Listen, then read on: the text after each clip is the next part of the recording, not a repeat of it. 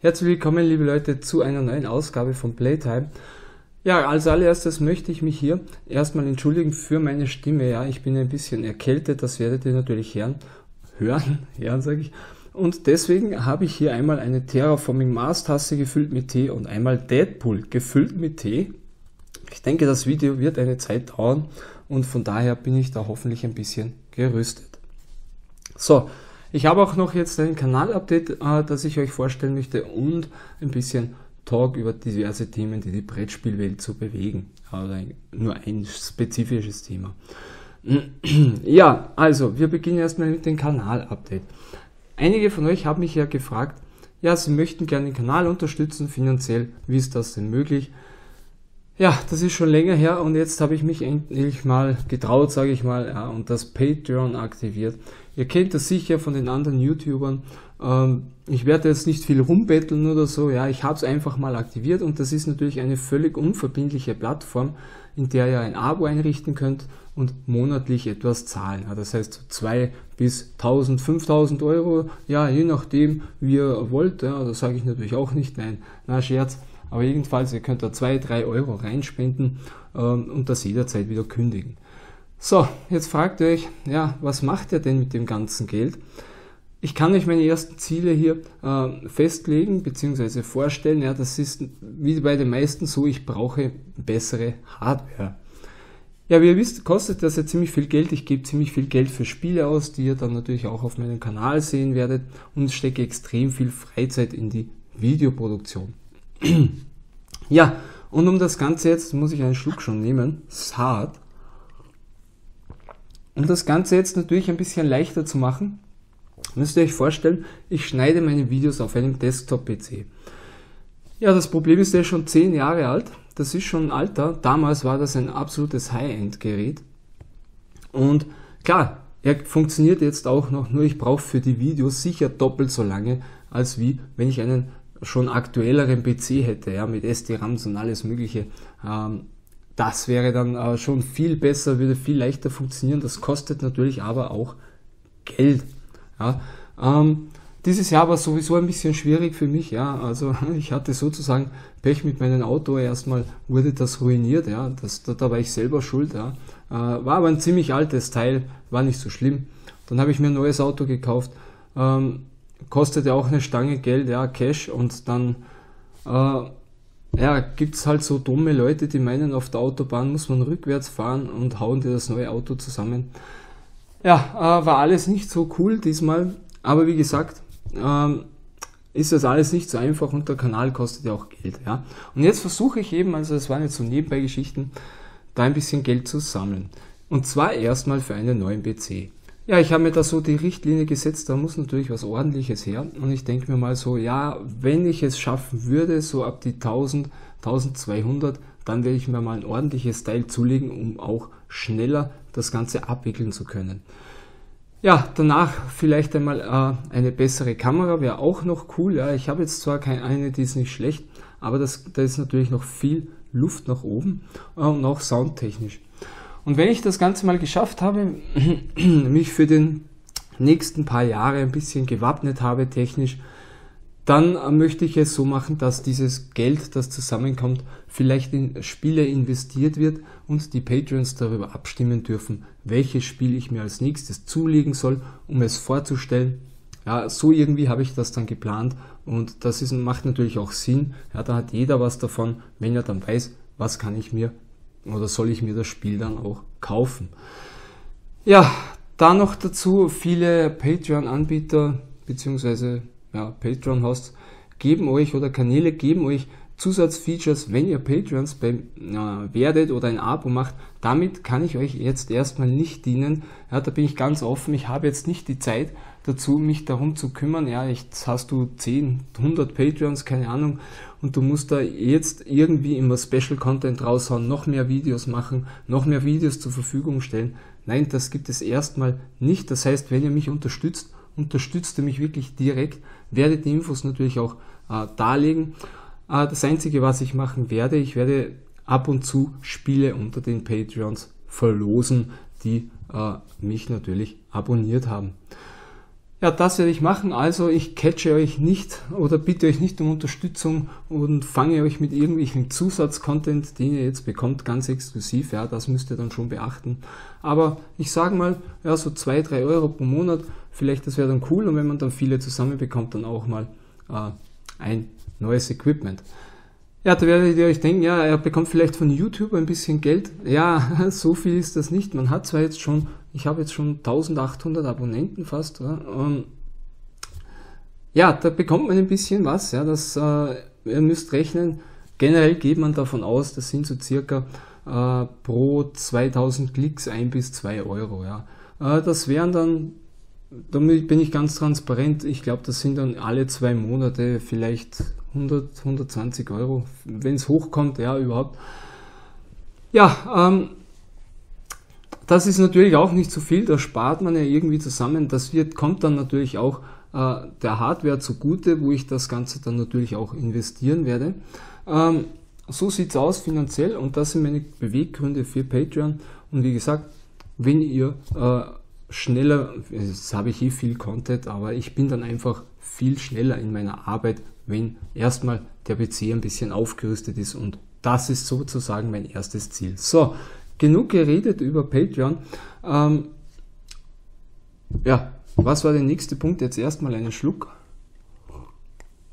Ah ja, genau. Ganz heiß aktuell ist ja das Thema Copa.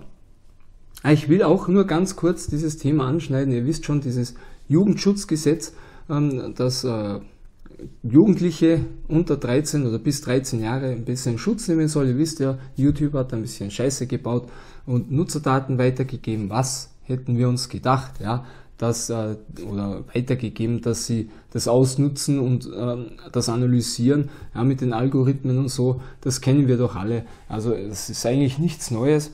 Aber ja, gab eine Klage, YouTube hat gezahlt und jetzt fürchten viele YouTuber, dass ihr Kanal aufgrund dieser neuen Regelung, dass man keine Spielsachen zeigen darf in den Videos, ähm, dass man da eine Strafe zu befürchten hat oder der Kanal gesperrt wird.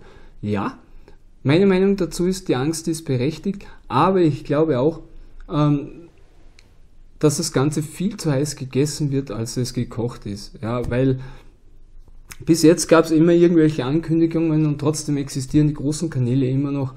Und Natürlich kann es sein, dass es den einen oder anderen erwischt auf irgendeine Art und Weise.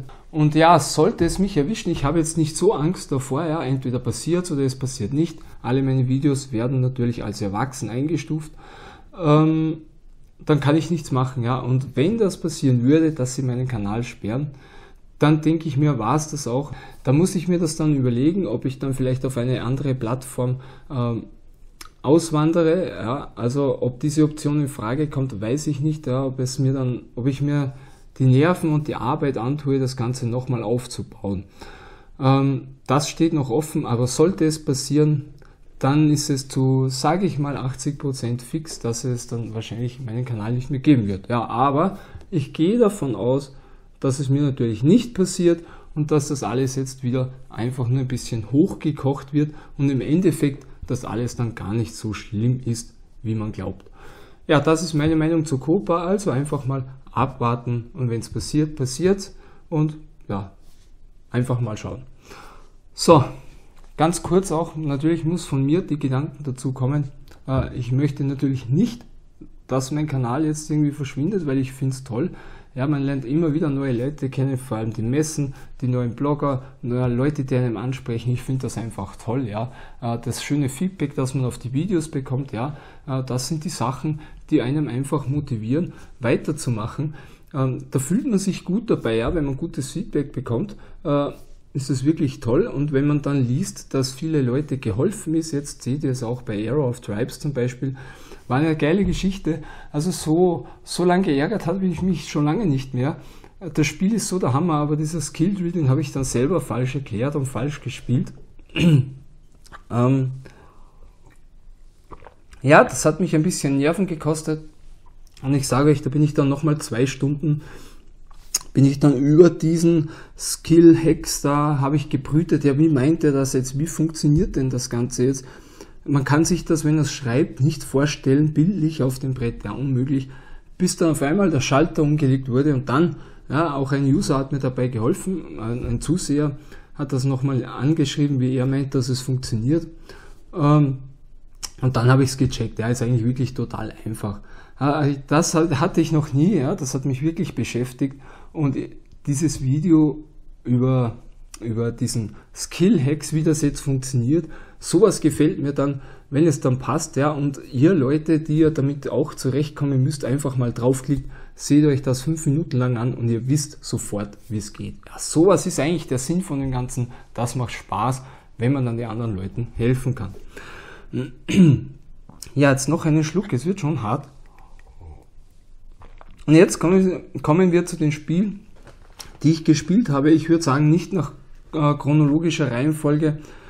Das sind wirklich viele und als erstes gehen wir die Spiele durch, die ich jetzt äh, physisch noch bei mir habe, beziehungsweise die ich selber besitze. Und ich gehe da jetzt natürlich nicht nach Reihenfolge, ich habe mir die jetzt rausgesucht und alle abgestellt. Und verzeiht mir, wenn ich nicht mehr so viel zu den Spielen sagen werde aufgrund der Stimme. Ich hoffe, es geht noch eine Weile. Und zwar haben wir hier als erstes Fire Tower. Ja, Fire Tower war ein Spiel, das hat mich echt enttäuscht.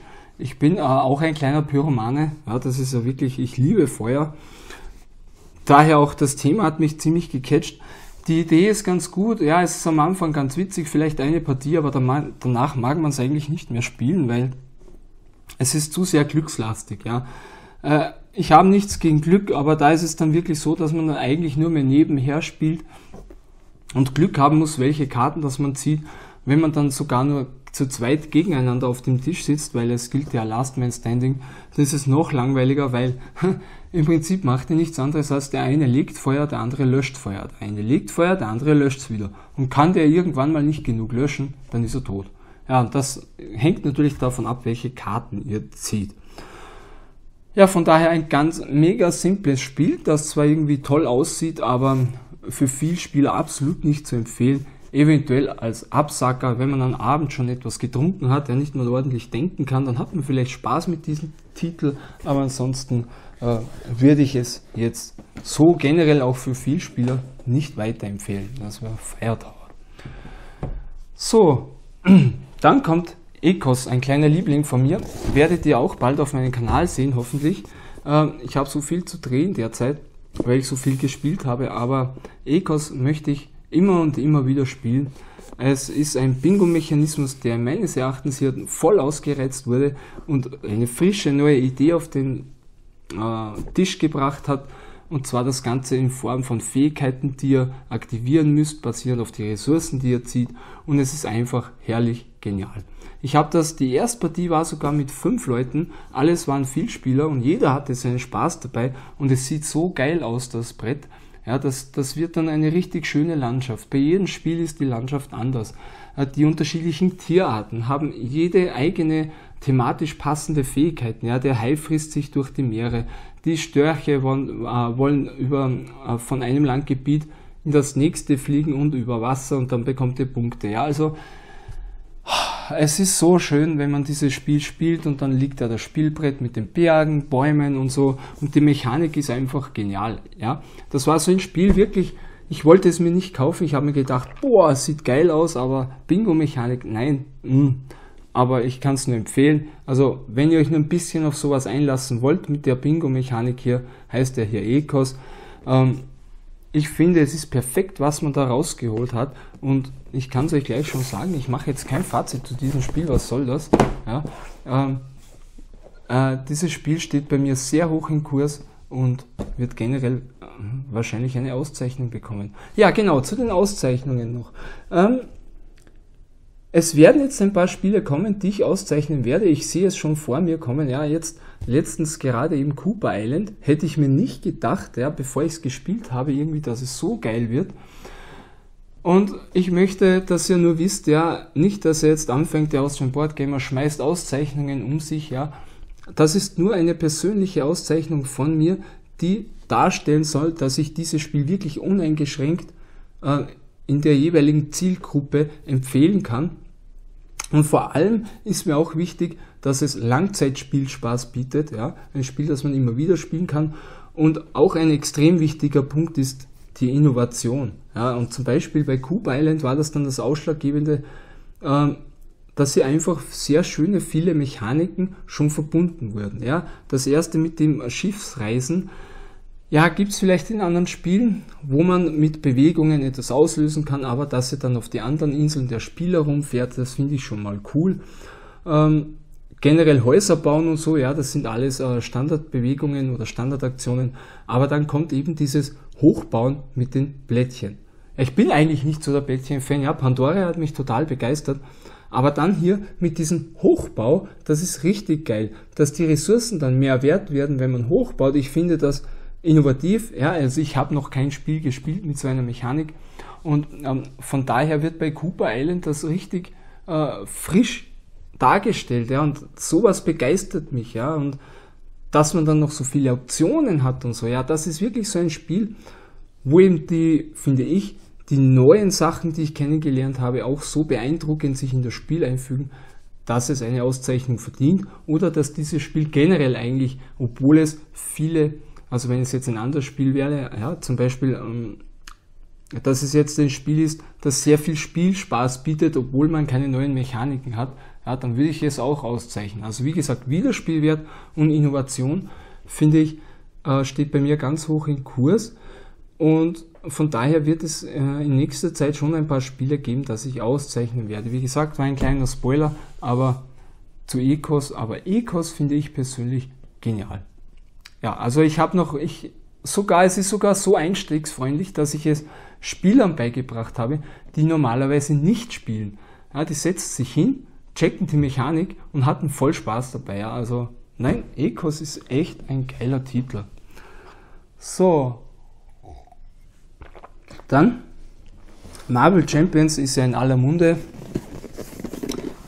Ja, da habe ich euch auch schon viel zu diesem Spiel gezeigt und äh, auch schon viele Leute angefixt damit, glaube ich.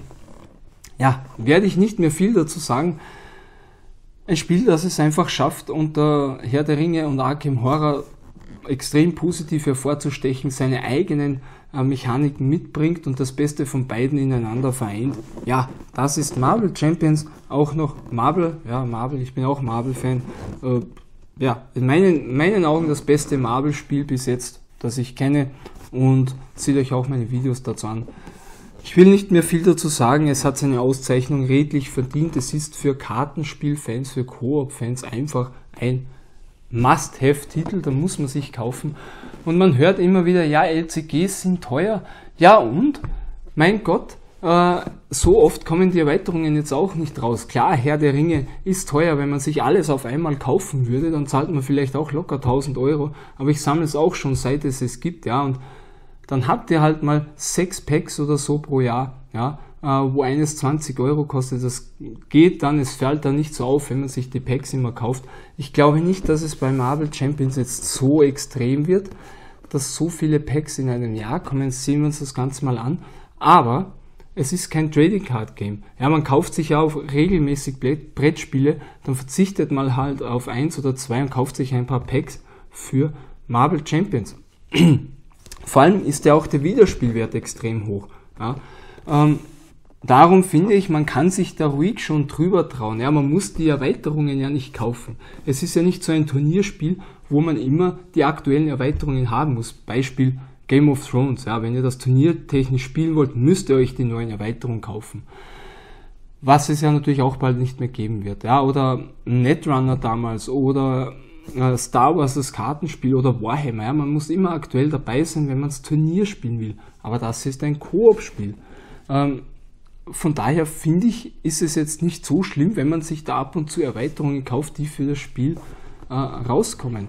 Ähm, und man kann sich die Grundbox kaufen, das will ich auch noch dazu sagen, weil das alleine in dieser Box schon sehr viel, wirklich sehr, sehr viel Wiederspielwert steckt und auch alle Karten, die man braucht. Ja, von daher keine Angst, dass ihr euch dieses Spiel kauft und dann müsst ihr euch mehr kaufen. Und wenn ihr angefixt worden seid und euch dadurch mehr kauft, ja, warum nicht? Ne?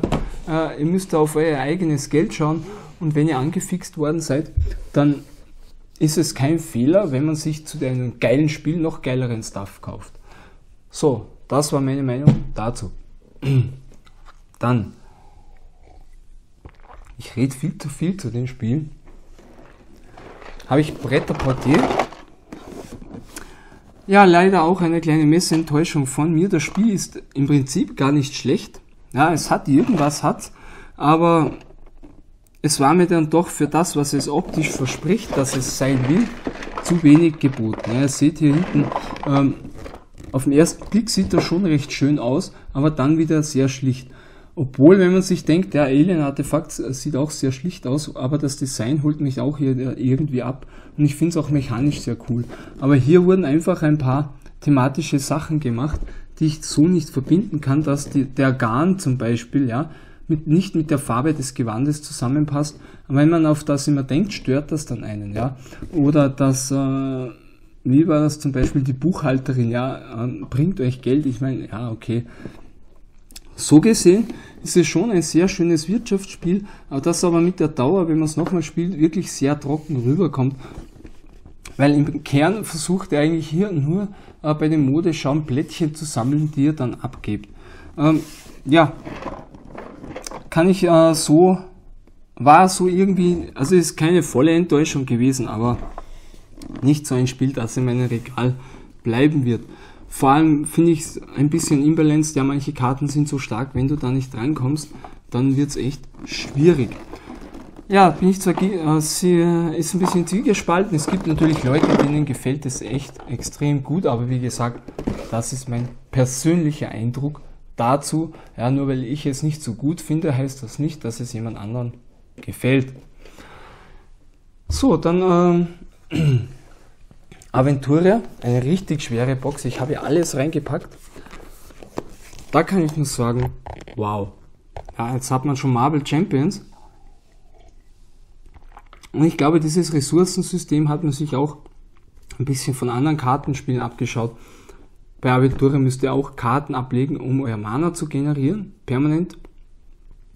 Ähm, toll. Und ich habe da, ich glaube, Wirts aus dem schwarzen Keiler was, habe ich da eine Weile gespielt toll, was man da jetzt äh, eingebaut hat mit den Dungeon, die man zwischendurch erkunden muss, bis man ans Ziel kommt. Das finde ich echt toll gemacht. Und es ist immer wieder eine Freude, dieses Spiel auszupacken und zu spielen. Man kommt leicht wieder rein, das System ist wirklich einfach und erzählt euch immer eine tolle Geschichte. Das ist die große Stärke von DSA, dass die Geschichten, die ihr hier in diesem Spiel findet, wirklich lustig und toll geschrieben sind, so dass man sich schon bei der ersten Quest ähm, beim schwarzen Keiler schon einen ablacht, ja, wenn der Baron in das Wirtshaus stürmt.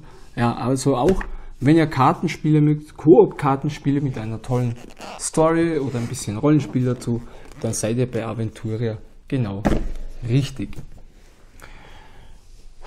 Dann haben wir Undaunted Normandie.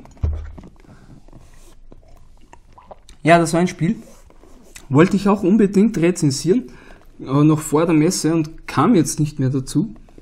Habe ich zweimal gespielt. Jetzt bin ich aus den Regeln ein bisschen draus, muss wieder reinkommen. Hoffentlich komme ich bald dazu.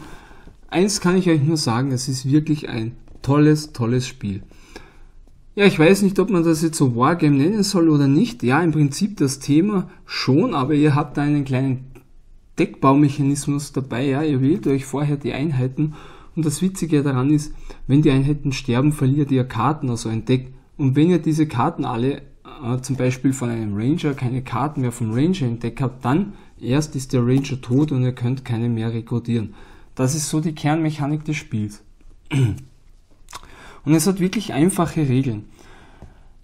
Ähm, ja, und ich finde, das Ganze schon auch äh, sehr thematisch irgendwie und finde ich cool gemacht. Die Missionen, die es da gibt, dass man einen Sender erobern kann, ja, wenn man den aktiviert dann kann man Hilfe rufen vom Thema her und dann wird die Mission ein bisschen abwechslungsreicher. Ähm, ja, das sind wirklich, also ich finde, das ist wirklich ein tolles, kleines Wargame, das wirklich seinen eigenen Charme hat. Ich mag das total gerne, wird auch eine neue Erweiterung kommen, eine Standalone-Erweiterung dazu, ich weiß den Namen gerade nicht. Aber ja, also dieser Kartenmechanismus, den muss man mögen. Ich finde auch das Artwork cool. Ja, da streiten sich auch die Geister. Manche finden es nicht schön. Ich finde es schön, das Artwork. Ja, er hat wirklich, ich finde, schön gezeichnete Karten. Und ja, die Kartenmechanik funktioniert perfekt in dem Spiel und es wird immer sehr, sehr spannend. Natürlich braucht ihr auch Würfelglück, aber ja, ich kann euch das nur empfehlen. Undaunted Normandie gefällt mir richtig gut. So, dann äh, gleich noch ein Wargame und zwar ein richtiges Wargame hier. Dawn's Early Light Red Hammer. Ja, auch ein richtig, richtig geiles Wargame mit einem netten Twist, den man so in keinem Spiel sieht. Ja, dass man hier äh, mit dem Angriffswurf sozusagen auch das Ergebnis hat, wird der Verteidiger mich treffen oder nicht. Das sorgt für sehr viel lustige Szenen in diesem Spiel. Ähm, man denkt sich, man ist vollkommen in der Unterzahl, aber genau diese Mechanik gleicht das sehr gut wieder aus. Und äh, ich kann das wirklich empfehlen, wenn ihr mal ins Wargame-Genre schnuppern wollt dann beginnt doch erstmal mit Dawn's Early Light, obwohl es sich komplett anders verhält, ja, wie die meisten. Ihr habt natürlich hier die Bewegungsregeln für die verschiedenen Gebiete, auf die man sich bewegen kann, das ist klassisch. Ihr habt ein Hex-Movement, alles gut, aber das Kampfsystem ist schon eigen, aber richtig geil gemacht. Ja. Ähm, kann ich nur empfehlen, wie gesagt, also wenn mich jemand fragt, ich mag auch mal Wargames probieren, dann versucht das mal hier. Aus Solo kann ich es derzeit nicht so empfehlen, da müsstet ihr so in der Art gegen euch selber spielen. Ist auch keine Regel darin vorhanden. Die befinden sich irgendwo in den Tiefen des Internets, da habe ich auch nichts ordentliches dazu gefunden. Ja, aber wie gesagt, tolles Zweispielerspiel. Wirklich sehr, sehr geil das Ganze. Und kostet auch nicht viel. Ja, habe ich damals äh, von der BerlinCon mitgebracht. Ja, dann kommt noch Roan. Eigentlich mein liebstes Kartenspiel ähm, im PvP-Bereich. Vielleicht mache ich da mal eine Top-Liste. Ihr wisst ja, Hero Realms, Star Realms und so weiter. Roan ist einzigartig. Roan hat eine geile Mechanik, dass ihr Karten bis zu dreimal tappen könnt. Ähm, um die Fähigkeiten zu aktivieren, eine schöne Ressourcenmechanik. Jede Runde generiert ihr Ressourcen. Und dann noch dazu könnt ihr Recycling machen. Ja, das heißt Karten aus eurem Friedhof entfernen, wenn ihr dafür anderen Müll sozusagen aus dem Kartenfriedhofstapel abwerft. Ja. Ähm, toll, also das Spiel vereint auch viele tolle Mechaniken, äh, hat ein tolles Artwork und wurde jetzt auch wieder erfolgreich auf Kickstarter finanziert. Und das, obwohl es nur die englische Version auf Kickstarter war. Ja, das heißt, da gehört schon was dazu. Das zeigt für den Erfolg des Spiels. Äh, wird natürlich auch auf Deutsch einen extra Kickstarter geben. Wie gesagt, Rune sehr geil. Und eins kann ich euch auch noch sagen, der neue Prototyp von Stefan Stefanik, der wird so geil. Das wird ein Koop-Spiel. Äh, ich habe ich hab das natürlich, vielleicht habt ihr euch das Interview angesehen, das war leider in Englisch, ich erkläre es euch noch gerne mal. Basiert auf der Welt von Roan, aber vorher, also vor, bevor dieser ganze Krieg da ein bisschen, äh, ich glaube, vor der Zeit spielt. Und es ist ein Koop-Spiel. Und ihr könnt so viele Handkarten ziehen von eurem Deck, wie ihr wollt, müsst aber am Ende diese Karten auch bezahlen, die ihr nicht ausgespielt habt. Ja, und um diese Karten zu spielen, muss man die Würfel werfen und die sagen euch, welche Ressourcen ihr bekommt. Jetzt ist das Geile daran, diese Würfel kann man selber modifizieren, indem man Farbe, also farbliche Schrauben in den Würfel dreht. Das ist so geil gemacht, das heißt, ihr habt so eine Art Pusher Luck, ihr zieht, sage ich mal ja, nach Gefühl vier Karten, dann würfelt ihr und seht euch die Ressourcen an, mit äh, welche ihr ausspielen könnt und den Rest, den ihr auf der Hand habt, bekommt ihr, glaube ich, als Schaden. Und das Ganze gepaart in einen, so eine Art Tower Defense Game, ja, so ein bisschen irgendwie, werden wir uns noch überraschen lassen, wie das dann genauer abläuft.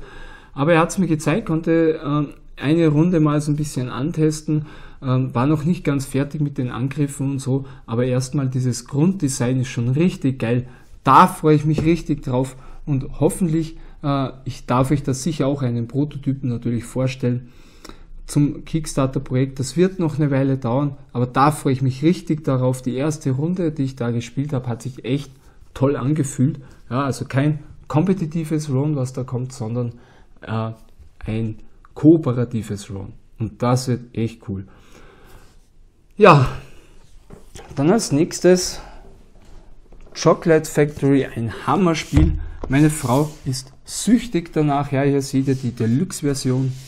Allein das Cover schon. Ich habe es schon in meinem Fazit gesagt und in der Vorstellung. Man will schon die Verpackung ablecken, weil es so geil aussieht. Und es sieht nicht nur geil aus, es ist auch ein richtig tolles Spiel, in dem ihr richtig das Förderbandgefühl habt. Ja, hier produziere ich das, dann baue ich hier eine Maschine, die kann dann umwandeln in ein besseres Konfekt. Ah, oh nein, da kann ich nicht mehr aktivieren, weil ich zu wenig Kohle habe, jetzt wandert das raus. Ja, also sehr geil gemacht. Wirklich ein schönes, schönes Spiel, das nicht nur optisch was hermacht, sondern auch spielerisch Bombe ist. Gefällt uns richtig gut, wird definitiv bei mir bleiben. Ich bin froh, dass ich hier die Deluxe-Version habe, weil, äh, ja, ihr wisst schon, die Deluxe-Komponenten sind ja einfach richtig geil. So, wir haben ja noch mehr. Das besagte Cooper Island, ja, meine letzte Rezension, meine letzte Auszeichnung. Ich habe es vorher schon erklärt, was dieses Spiel ausmacht.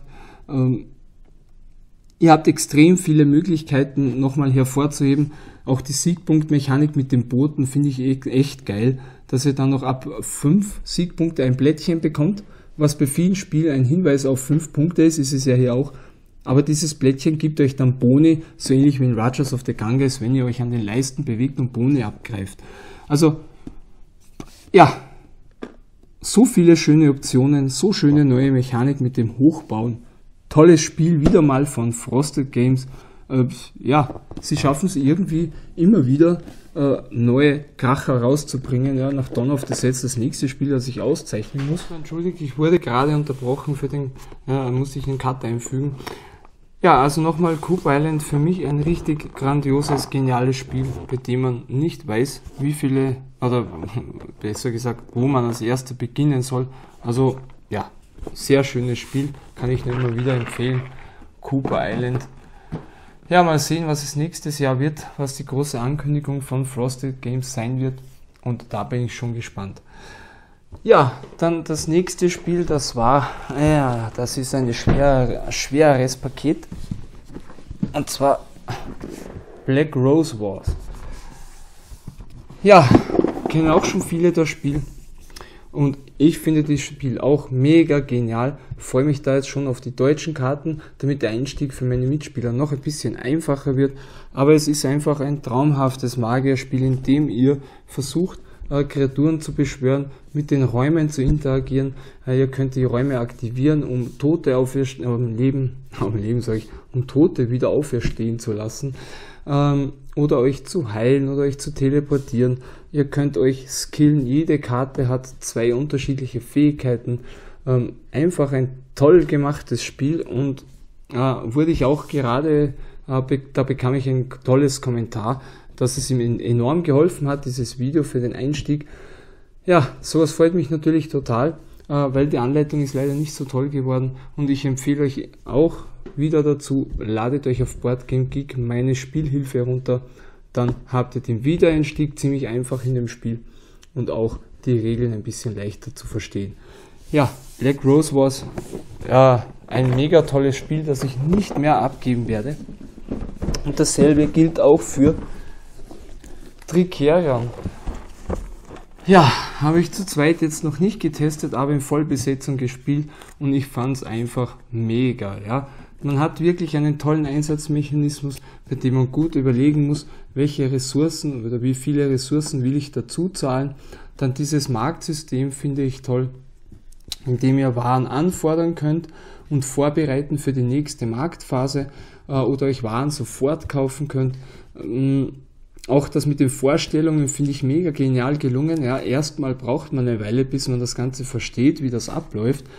Wenn man das aber dann verstanden hat, dann ist das bei vier Spielern zumindest jetzt, ja, also richtig toll die Konkurrenz ähm, äh, ist da aufgekommen. Ja, wer darf als erster aufführen? Wer geht gleich in den Montag oder wer holt sich doch noch den Samstag? Ja, ähm, Dazu gepaart mit dieser Blättchenmechanik, dass man versuchen muss, gleiche Symbole zu verbinden und die einen Spieler dann, also viele verschiedene Spieler dann auch auf eine Vorstellung setzen man darum buhlt, wer sie aufführen darf. Ähm, ja, schwierig zu erklären, aber ein mega geniales, thematisches, tolles Eurogame, das natürlich seine Zeit braucht beim Spiel. Aber ja, wenn ihr es mit der schwarzen Katze spielt, die Erweiterung dazu voll empfohlen, dann werden eure Aktionskarten noch gepimpt. Das gibt dem Spiel noch mehr Würze und so schafft es dann auch immer noch bessere Skills schneller zu lernen. Also Tricerion ist eine absolute Granate, eines der besten Eurogames, äh, die man spielen kann, finde ich.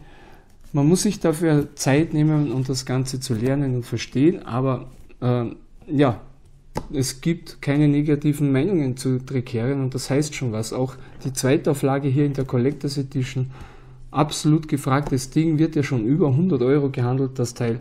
Ähm, ja, einfach nur mega. So, dann kommen wir zu den Spielen, die ich selber jetzt euch nicht zeigen kann. Und da hätten wir erstmal Draftosaurus. Ja, wie ich äh, im Spielewiese-Video auch erkläre oder erklärt habe, habe ich kurz Draftosaurus gespielt. Das ist echt so ein leichtes Spiel, das man verwenden kann, nachdem man etwas Hartes gespielt hat, ja, indem man ziemlich lange gegrübelt hat, als Absacker sozusagen oder auch als Opener, wie man so schön sagt, also das erste Mal als Beginnerspiel. Ähm, würde ich auch als Familienspiel empfehlen, ja, aber es ist wirklich einfach. Ihr habt verschiedene Gebiete auf eurem Dinosaurierpark. Jeder nimmt sechs Dinosaurier in der Hand und man darf sich immer einen Dinosaurier aussuchen und die Farbe äh, wird dann durch einen Würfel bestimmt, wo ihr dann diesen farblichen Dino äh, auf welches Feld setzen dürft. Ja, äh, dieses System finde ich cool. Man sieht dann natürlich auch den Nachbarn oder was nehmen denn die anderen Dinos. Kommen da noch mehr Grüne zu mir? Kann ich da auf die Grünen gehen oder welche braucht der neben mir? Gebe ich ihm keinen Grünen, setze ihn lieber selber bei mir ein. Ja, wirklich ein easy Spiel, das man schnell versteht, das leicht gespielt ist und so ein, ja, dass man zweimal schon gerne spielt. Ich glaube, auf Dauer ist es nichts, da wird es ein bisschen zu langweilig. Ich würde es mir selber jetzt nicht kaufen, aber äh, auf jeden Fall immer wieder gerne mitspielen. So, danach Tiefseeabenteuer heißt das Spiel. Genau, das haben wir bei Sven Siemen gespielt. Da war ich total überrascht von dieser kleinen Box. Ja, so eine kleine Mini-Box. Ja, ganz blau mit einem U-Boot drauf. Und was macht ihr? Ihr legt hier Blättchen aus ja, in einer Kette und diese Blättchen simulieren, wie tief ihr taucht. Ja, zum Beispiel gibt's Einser, Zweier, Dreier und ihr würfelt den Würfel und geht dementsprechend viele Schritte nach unten. Ja, ihr könnt euch jederzeit frei entscheiden, einen Schatz zu nehmen. Wenn ihr aber einen Schatz nehmt, das heißt ihr dreht das Blättchen um, müsst ihr euch danach auf den äh, Rückweg begeben. Also müsst ihr, nein, müsst ihr euch bei der Bewegung immer entscheiden, bewegt ihr euch zurück oder nach vor. So, und wenn ihr euch für einen Weg entschieden habt, aber für den Rückweg entschieden habt, könnt ihr euch auch nicht mehr nach vorbewegen. So, und der Clou daran ist, alle Spieler hängen auf der gleichen Sauerstoffleitung. Das heißt, wenn ihr euch zurückbewegt und einen Schatz geborgen habt, dann müsst ihr pro Schatz einen Sauerstoff abgeben, wenn ihr euch bewegt. Ja, jetzt nimmt man zwei Schätze, dann verliert man schon zwei Sauerstoff. Ja, das ganze Spiel ist natürlich extremst glücksabhängig, ja, basierend auf die Würfel, Würfe, die man hat. Aber ihr müsst schon irgendwie den richtigen Zeitpunkt abwarten, wann nehme ich denn jetzt einen vielleicht billigeren Schatz und schaffe es noch ins Boot zurück, um den Schatz natürlich auch bergen zu können. Ja, und das war extrem lustig, weil ich hatte an dem Abend so viel Würfelpech, dass es eine Frechheit war. Aber dadurch war es echt total lustig. Wir haben gleich drei Runden, glaube ich, gespielt. Ich bin jedes Mal komplett abgesoffen. Und äh, war einfach daran geschuldet, ja, dass ich mich am Anfang meistens nur mit drei Felder bewegt habe und beim Rückweg dann auch und dann hast du eigentlich fast keine Chance mehr. Ja. ein paar Mal habe ich auch selber zu viel riskiert, ja, das war dann eigentlich den Spaß geschuldet. Ich habe gesagt, ja okay, mache ich es halt und ging dann auch nicht gut, aber da musste natürlich auch dementsprechend würfeln. Aber das beste die beste Situation war, okay, in der letzten Runde habe ich mir gedacht, ich hole mir einen ganz billigen Schatz ganz früh, würfle einmal, komme circa fünf Felder nach vor und denke mir, so, bevor ich jetzt wieder absaufe, nehme ich den äh, Fünfer Schatz, glaube ich, ne, den Sechser, sechs waren es sogar, glaube ich, ähm, bin da sechs Schritte entfernt, ja, und ich denke mir, okay, ich komme da sicher jetzt nicht zurück, ja, ich nehme da jetzt, äh, würfle vielleicht dann eine 3 oder eine 2 und ähm, ja, dann bin ich wieder an der Reihe, würfle und was würfel ich? Eine 6. Ja, die ganze Partie über den ganzen Abend habe ich total schlechte Würfelzahlen. Da würfle ich eine 6 und komme sofort zurück zum Boot. Ja, und das war echt übel, weil eigentlich habe ich keinen Schatz aufgehoben. Ich wollte nur im Rückweg Schätze mitnehmen. Ja, das heißt, ich bin rein und raus und habe nicht mal einen Schatz mitgehabt. ja, und wir haben, ich hab, wir haben uns fast angepisst vor Lachen, weil Äh, das ist äh, genau das Gegenteil wie vorher. Vorher habe ich den Schatz, komm nicht hoch, dann habe ich keinen Schatz und bin sofort im Boot. Ja, äh, war mega lustig, ähm, echt spaßig, eine totale Überraschung, dieses kleine Spiel. Ja, dann Everdell haben wir auch gespielt, das ist schon länger aus. Everdell finde ich ist grundsätzlich ein tolles Spiel, hat eine schöne Mechanik, total äh, cool, dass man sich hier aus der Auslage auch frisch die Karten kaufen kann, die gleich ins Spiel kommen. Ähm, thematisch auch gut verbunden miteinander, die Karten. Finde ich auch schön. Das Artwork total toll. Ähm, ja, meine Frau fand es im Endeffekt dann ein bisschen langweilig. Muss man ihr auch recht geben. Ich glaube, wenn man das Spiel öfter spielt, hat man ein total repetitives Gefühl wahrscheinlich. Und vor allem die Erweiterungen, die sind wirklich extrem teuer dazu. Aber im Großen und Ganzen ein richtig schönes Spiel. Also mir hat es echt extrem gut gefallen. Aber ja, wenn so ein Kartenspiel äh, meiner Frau auch nicht gefällt, dann muss man natürlich überlegen, ob man das behält oder nicht. Und daher musste es bei mir ausziehen. Ja, dann gibt es noch, äh, na, das machen wir zum Schluss. Rurik, ja, Rurik, schönen Gruß an den Jürgen. Das war das Spiel von Jürgen der hat uns Rurik gezeigt. Ein Area Control Spiel mit einem sehr, sehr genialen Einsatzmechanismus. Wenn ich das Spiel hätte, ich würde es auch auszeichnen, weil einfach dieser Einsatzmechanismus seinesgleichen sucht. Das ist eine mega coole Idee, was da gemacht wurde. Andererseits hat der Area Control, aber der Kampf ist mega einfach. Er tauscht nur Einheiten ab und zieht eine Karte und sieht dann, was passiert. Aber wie er die Miepel einsetzt, das ist schon Poker in Reinkultur. Ähm, ihr könnt, ihr habt Meeples und die sind nummeriert von 1 bis 5. Und man äh, gibt zum Beispiel die 1 auf ein Einsatzfeld, äh, zum Beispiel rekrutieren, und die 2 auf ein anderes Feld. Und wenn jeder Spieler seine Meeple gesetzt hat, dann werden die der Reihe nach abgehandelt und zwar von unten nach oben. Das heißt 1, 2, 3. Und jede äh, Reihe, an der ihr einsetzen könnt, äh, ist natürlich oben ja, der obere Einsatzplatz der bessere Effekt. Ja. Das heißt, ich, auch wenn ich eine 1 setze, würde ich oben den Hammer-Effekt bekommen. Der Clou dabei ist, man kann diesen Miebel verdrängen, wenn man höher setzt, ja, dann werden alle nach unten geschoben. Jetzt kann man mit einer 2 den 1er natürlich von oben nach unten schieben. Und wenn die Spieler dann natürlich da mehr einsetzen, lande ich vielleicht sogar auf dem letzten Platz und habe fast gar keine Boni, ja, nur eine kleine Wirkung. Ja, wenn man natürlich dann mit seinem Geld äh, den Wert der Meeples erhöht, haben es andere Spieler schwieriger, auch auf dieses Feld einzusetzen bzw. einem zu verdrängen. Ich könnte theoretisch aus einer 5 mit drei Münzen eine 8 machen. Ähm, ja, und dann zusätzlich zum Einsetzen eben noch die Abhandlungsfolge beachten. Also das ist echt genial gemacht. Äh, ich habe schon lange nicht mehr so ein tolles Area Control Spiel gespielt, äh, das sich auch thematisch cool anfühlt. Ja. Ähm, aber ein rundherum gelungenes Spiel finde ich mega genial. Ähm, mehr kann ich dazu nicht sagen. Ich hoffe, ich komme nochmal dazu, es zu spielen oder vielleicht leihe ich es mir aus, um euch, euch das mal vorstellen zu können. Ja, dann das nächste Spiel auf der Liste. Das war Sanctum. Ja, Sanctum, ich habe es leider nicht mehr schon verkauft, schon versendet. Hm, ja, dazu möchte ich auch nicht mehr viel sagen wegen meiner Stimme. Ähm, ich, nur so viel, ich bin langjähriger Diablo-Spieler, schon zehn Jahre habe ich da damals, glaube ich, Diablo gespielt und so weiter. Ähm, und da sind mir dann später auch noch eben so Punkte eingefallen, die ich da wirklich, die mich so extrem gestört haben, ja.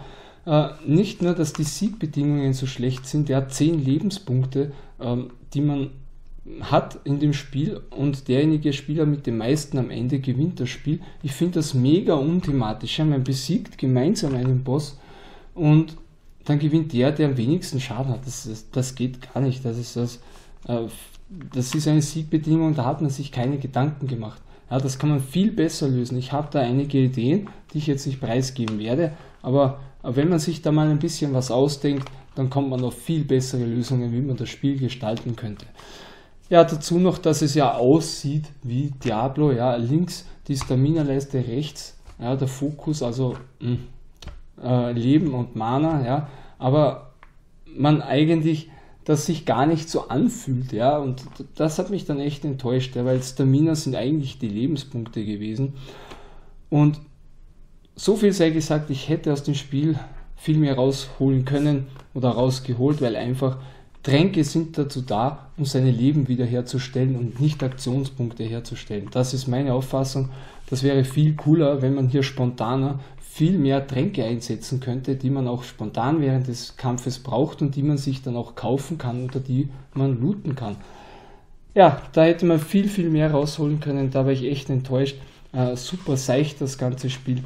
Ich finde es auch nicht schwierig, ja, es ist viel zu leicht. Man kann den Schwierigkeitsgrad erhöhen, aber das fühlt sich dann künstlich an ein bisschen. Der Endbosskampf ist ein bisschen herausfordernd, aber was ist Herausforderung, wenn ihr einfach nur hofft, dass ihr die Würfelzahlen habt, um voranzukommen ähm, und das nur banal manipulieren könnt. Ja, das war Sanctum hat mich echt voll enttäuscht. Und dann äh, gibt es zum Schluss noch, na, da gibt es noch zwei. Und zwar Pacific Rim habe ich leider nicht mehr. Ja, ich habe das Spiel gelobt. Ich finde es nach wie vor richtig gut. Ich bin großer Fan des Films. Es gibt ja auch andere große Fans des Films. Und ich finde, dieses Spiel bringt den Film absolut toll auf euren Tisch. Da kann man echt nichts sagen. Aber ich persönlich, äh, wenn ich so ein Spiel auf den Tisch packe, spiele ich dann ein bisschen mehr anspruchsvolleres Zeug, so wie zum Beispiel eben das Warhammer Shadespire aber nichtsdestotrotz ist Pacific Rim für äh, Leute, die den Film lieben und die was, äh, die, die Miniaturenspiele mögen, ein richtig tolles, cooles Spiel, eine Ergänzung zum Film. Ja, die Schablone ist klobig, die Kritik lasse ich absolut gelten, das stimmt, daran muss man sich gewöhnen, das hätte man viel besser lösen können, aber nichtsdestotrotz, man kann seine Monster und seine ähm, Jäger schön ausrüsten, das macht Spaß, die Skills machen auch Sinn, ja, sind auch thematisch gemacht und ja, das hat sich gleich ein Spielkollege mir äh, von mir gleich abgekauft. Der wollte das auch unbedingt haben. Es ist jetzt nicht so leicht zu bekommen, sage ich mal. Äh, müsst ihr euch schon bestellen. Ich glaube auf der Webseite. Aber nichtsdestotrotz, der wollte es dann gleich haben, ist ja auch großer Fan. Ich habe mir gedacht, ja, bei mir wird es wahrscheinlich aufgrund der Menge an Games, die ich habe, nicht so auf dem Tisch landen und dann hat der das jetzt in seinem Fundus. So, dann gab es noch Glenmore 2 Chronicles, habe ich auf der Spiel in Essen äh, dieses Jahr Probe gespielt, hat mir extremst gut gefallen. Ja. Dieses Spiel müsste man auch fast auszeichnen, das war eine äh, Runde am VIP-Tisch. Also ich kann sagen, was man aus dem alten System hier rausgeholt hat, ist richtig mega geworden. Die Komponenten toll. Ja, vielleicht hätte man die Sticker noch weglassen können, wenn es schon so eine tolle Deluxe-Box ist aber im Großen und Ganzen ein richtig geniales Spiel, das ich Eurogamer wirklich empfehlen kann. Äh, was mich vielleicht ein bisschen gestört hat, das war, dass wenn man jetzt eine Aktion, ein Blättchen haben will, das ziemlich weit vorne ist und einem total viel bringt, ja, müsste man extrem viele überspringen und hat dann eine richtig große Downtime, bis man wieder drankommt im späteren Spiel. Da kann es wirklich vorkommen, dass man 20 Minuten äh, nichts machen könnt, weil die anderen Spieler für ihre Züge so lange brauchen. Ja, kann man positiv oder negativ sehen, äh, kann auch sagen, man ist selber schuld, wenn man so weit nach vorne geht, klar, aber wenn es einen viel bringt, warum nicht? Das wäre vielleicht der einzige Kritikpunkt, aber im Großen und Ganzen ist das Spiel mega toll und ich hoffe, dass ich es euch auf äh, meinem Kanal vorstellen kann, weil Nils hat mir da auch ein Rezensionsexemplar äh, versprochen. Ja, mal sehen, ob es mal, äh, ob's was wird damit. Dann könnt ihr das auch auf meinem Kanal sehen und werde auch versuchen, euch alle Chroniken dieses Spiels zu zeigen. Ja, und last but not least, jetzt kommen wir zum Ende. Hammer of the Scott ja, ein Wargame, ein Block-Wargame. Wenn ihr euch das Essen-Video mit Oma angesehen habt, bei dem ich zwei Tage lang gepennt habe, ähm, ein richtig tolles Spiel, ja, in dem ihr eure Blöcke vor euch habt. Das sind die Einheiten. Wenn sie Schaden bekommen, dann dreht man die Blöcke. Sehr cool gemacht. Äh, mit einem netten Twist, ja, dass am Ende des Jahres alle eure ähm, Barone wieder in die Heimatstadt zurückkehren ja, das heißt, ihr braucht keine Bewegungspunkte auf, ausgeben, sie landen wieder in eurer Stadt.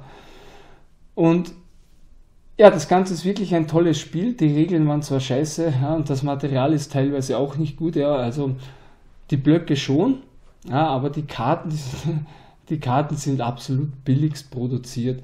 Ja, also da hätte man viel, viel mehr draus machen können. bis man da mal drin ist, dauert es eine Weile. Ist zwar nicht so kompliziert, ja, aber aufgrund der Anleitung, der schlechten Anleitung war das der Einstieg, äh, hat dann ein bisschen gedauert. Aber dann hatten wir eine mega tolle Partie, sehr viel Spaß mit dem Spiel. Hammer of the Scots. Ja, wenn ihr auch an Block Games interessiert seid, dann müsst ihr vielleicht auch einen Blick darauf werfen. Aber wie gesagt, ihr erwartet vom Material jetzt nicht das absolute Highlight, sage ich mal. Aber spielerisch absolut top das Spiel. Ja, das war's jetzt mit den ganzen Listen, die ich gespielt habe. Und ihr seht, das sind richtig, richtig viele. Vielleicht habe ich auch ein, zwei oder drei nicht aufgeschrieben oder vergessen, weil das war jetzt schon ein, ein bisschen ein großer Zeitraum. Und ja, dazu möchte ich nochmal sagen, jetzt habe ich sogar das Mic nicht angesteckt, aber ich glaube, er hat mich ja trotzdem gehört. Es lag ja auf dem Tisch. Trotzdem möchte ich dazu sagen, ähm, ähm, ich freue mich, wenn ich ein paar Patreon-Unterstützer bekomme. Wie gesagt, aktuell wird es nicht so viel exklusiven Content geben, da ich die Zeit nicht dazu habe. Aber es wird dann auch äh, ein paar Spiele zur Verlosung geben. Erstmal, wenn ein gewisser Stand an Patreons vorhanden ist. Ja, das war's. Ähm, ich hoffe, ihr hattet Spaß dabei. Das eine oder andere Spiel habt ihr vielleicht schon im Auge gehabt und seid auch äh, jetzt noch ein bisschen angefixt geworden davon oder äh, holt es euch jetzt natürlich. Ja, und ich hoffe, wir sehen uns beim nächsten Video wieder, bei meinem nächsten Playtime-Video. Und das war's. Entschuldigt nochmal meine Stimme, ja, ich bin ein bisschen verkühlt. Und wir sehen uns dann bei einem nächsten Playtime-Video. Euer aus dem Boardgamer. Ciao.